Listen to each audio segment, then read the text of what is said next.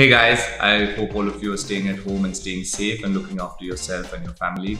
Uh, I just wanted to say a huge thank you to all of you for the love you've shown on my birthday.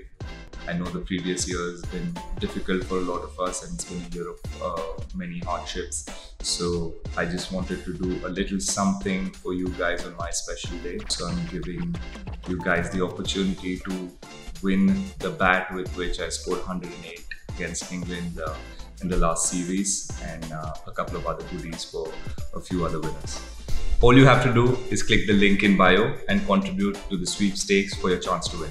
The best part is that every donation that you guys make will support the organization Wings for Life, which is working towards finding a cure for people living with a lifelong spinal cord injury. Um, so let's not waste time and let's get cracking. And I'm really looking forward to meeting uh, the winner and handing uh, him or her the bat myself. So take care and stay safe.